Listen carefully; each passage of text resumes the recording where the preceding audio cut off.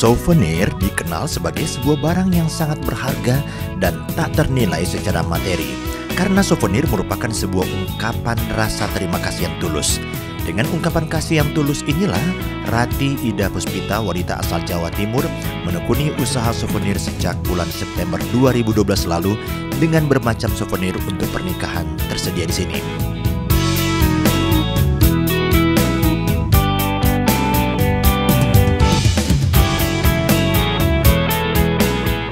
September 2012 semua dari keramik, gelas, bros, gantungan kunci, semua souvenir ada. Kita ada uh, handmade, jadi buatan ibu-ibu, uh, buatan tangan ada. Kemudian kita uh, langsung lengkap dengan packing dan ucapan, jadi pengantin nggak perlu repot-repot uh, lagi gitu mbak. Pasar-pasarnya selain di Batam di mana lagi?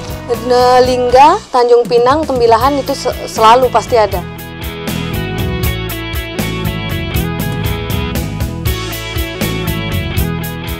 Sebagian barang-barang souvenir ini didatangkan dari Jawa. Selain itu, dengan harga yang terjangkau, souvenir Ida cukup dikenal di Batam hingga di luar Batam. Untuk memperkenalkan souvenir ini sederhana saja, Ida cukup melalui jejaring sosial.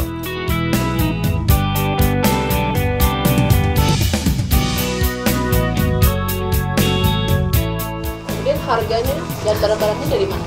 Kalau harga dari harga seribu rupiah ada, barang-barang campur kita dari Jawa, kebanyakan dari Jawa. Kemudian ada saya informasi di mana saya dapat untuk bisa mendapatkan souvenir ini? Di Facebook bisa uh, souvenir pernikahan Batam atas nama Rati Ida Puspita. Jadi saya lebih banyak di sana gitu. Rati berharap usaha souvenir pernikahan yang dijalankannya ini akan lebih banyak dikenal oleh masyarakat kota Batam dan sekitarnya dan di luar kota.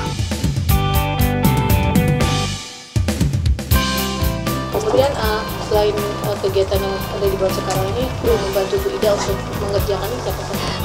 Kami biasanya dibantu sama ibu-ibu perumahan, jadi kalau banyak mm, mereka bantuin gitu. Kemudian uh, ke depannya nih apa yang diinginkan? Ke depannya barangnya lebih banyak, terus customer itu uh, tahu kami, jadi nggak perlu jauh-jauh, yang penting dekat, harga sama dengan yang jauh gitu.